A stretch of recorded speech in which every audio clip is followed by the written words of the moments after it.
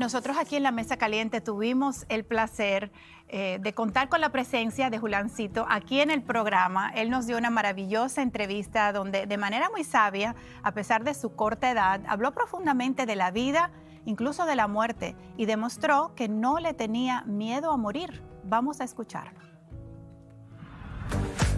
Bueno, yo estoy feliz porque lo vi nacer, es mi niño consentido, sabe que lo amo desde el primer día y que es el hijo de mi mejor amiga, Maribel Guardia, y hoy está con nosotros el digno heredero de una dinastía, de la dinastía Figueroa. ¿Cómo está Julián Figueroa?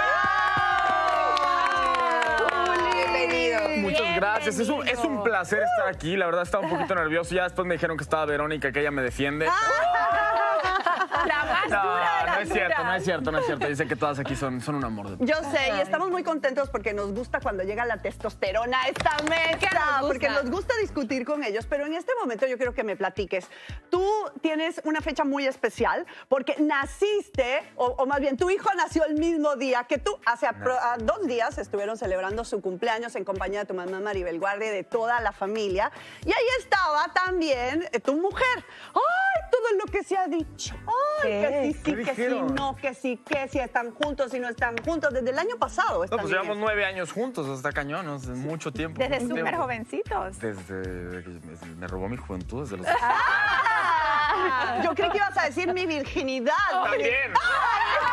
Ay, qué mentiroso. Yo todavía Y yo soy aquí mentiroso. ¿Cómo fue esta bello. celebración y, y cómo te cambió la vida ser papá? Yo que te conozco, sabía que andabas en la fiesta y demás, pero ser papá te ubicó, te centró.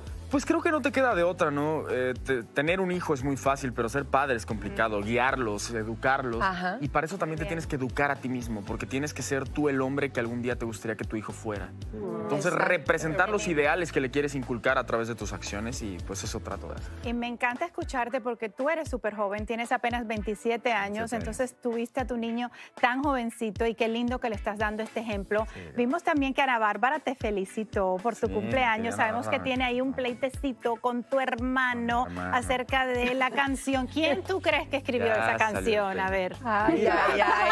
Ya salió. Imagínate. Yo no soy este ¿Qué te han dicho? Dios todopoderoso para, para saber este, cómo sucedieron las cosas, ¿no? Sin embargo, yo conozco a José Manuel. José Manuel es un cuate muy talentoso, es un gran músico, es un gran cantante, es mi hermano, siempre lo voy a apoyar cuando pueda. Le tengo una lealtad, pero Ana Bárbara es mi amiga Sí. y también a Ana Bárbara le debo una lealtad. Lo que te puedo decir es que yo jamás tildaría a Ana Bárbara de ladrona porque es una mujer que le escribe éxitos a Cristian Nodal, Exacto. a Ángel Aguilar, a, le están pidiendo canciones Pepe Aguilar, ella misma, cada cosa que saca es un éxito.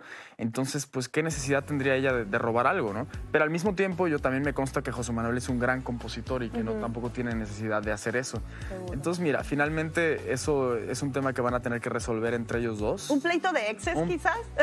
Pues, pues, no, sé, no sé de qué sea el, el pleito, ¿no? Pero yo siempre he pensado que el respeto al derecho ajeno es la paz. Totalmente. Pero yo, yo, le repito a mi hermano, siempre que salgan hablando mal de José Manuel, yo lo voy a defender. Creo que lo, lo- Qué lo he demostrado. Cuando Ana- su exnovia que habló mal de él, yo salí, fui el primero que salió allá a sacar las garras por él. Él no ha hecho lo mismo Pero- por ti de vez en cuando. Pues bueno, cada quien. es que es verdad. Pero y él siempre lo hace. este, en el caso de Ana Bárbara, pues sí, ¿no? Una mujer tan exitosa que Ángela Aguilar le acaba de grabar un, un- un éxito. Sí, Cristian Nodal, sí. pues yo no creo que alguien así tenga necesidad. Así. Oye, Julián, y también había otra duda con una canción que se llama Quiero y Necesito, que estaban diciendo que si le escribió José Manuel o que si le escribió tu papá, tu mamá. ¿Cuál, cuál fue esa aclaración? Bueno, yo, yo nunca escuché que, que, la, que José Manuel dijera que la compuso, ¿no? Pero la compuso mi papá. Esa canción se la compuso mi papá a mi mamá cuando iban a ser yo. La canción dice, quiero y necesito sembrarte tierra prometida, que un soplo de vida te haga florecer. Ese soplo de vida soy yo. ¡Qué bonito! Oye, y tu niño que tiene cinco añitos, ¿ya se da cuenta que, que tú eres cantante y todo eso? Se, se da cuenta que soy cantante porque ando ahí todo el día con la guitarra, pero no sabe que cobro por... por Que eres famoso, no sabe que eres famoso. Bueno, famoso es relativo, pero no sabe que me presento y que hago ese tipo de cosas.